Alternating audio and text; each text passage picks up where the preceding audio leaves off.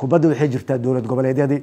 Magaalada inaad noo faaruqaysaan ayaan rajeynaya gobollada aadaadaan waa ra'iisul wasaaraha jamhuuriyadda federaalk soomaaliya maxamed xuseen rooble oo dhowaan sheegay inaysan jiri doonin musharaxiinta u tartamaya golaha shacabka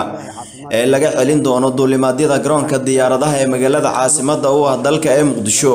Inaan meel uga soo wada horjeysano qof kasta oo isku dayo inay caqabad ku noqoto ama shaki ay geliso howlaha wanaagsan ee shacabka soomaaliyeed aan u wadno waxaa soo baxaya warar kala duwan oo sheegaya in musharaxiinta qaarkood laga hor istaagay inay aadaan deegaan doorashadooda sida uu warbaahinto u sheegay guddoomiyihii hore ee gobolka gedo cusmaan nuur xaaji macalimow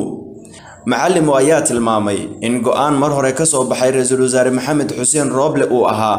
mid geesanimo leh hase yeeshee ilaa iyo hadda uusan dhaqangelin maadaama uu sheegay in gobolka musharaxiintii aadayay ilaa iyo hadda aysan ka bixin garoonka diyaaradaha ee magaalada caasimadda u ah dalka ee muqdisho. Dadka iyaga dhammaantood halkan ay ku xayirnaayeen muddo afar jeer anaa u yaraa waa laiga soo celi dadka kalena ilaa muddo toban jeer ka badanaaba laga soo celiyey. Ayadoo la samray oo gobolkii laga samray oo in la aada laga quustay oo la samray ay guddiga ayaga haa tageen gobolka way soo indhaindheeyeen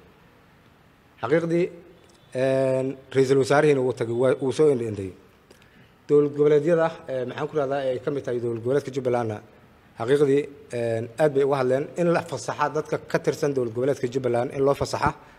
gobolka iyo meel kasta oo jubbaland in loo fasaxa aad bay uga hadleen. Xaqiiqdii arrinta ayadahayd ma suurtagelin laakiin waxaa go'aan geesimane qaatay oon aad ugu mahad celinaynaa. Ra'iisul wasaaraha iyo guddigii guddigii iyo ra'iisul wasaaraha go'aanka geesinimada loo qaateen waxay fasaxeen dadkii halkan ku xeyeernaa hadday yihiin maxaan ku rahdaa musharaxiintii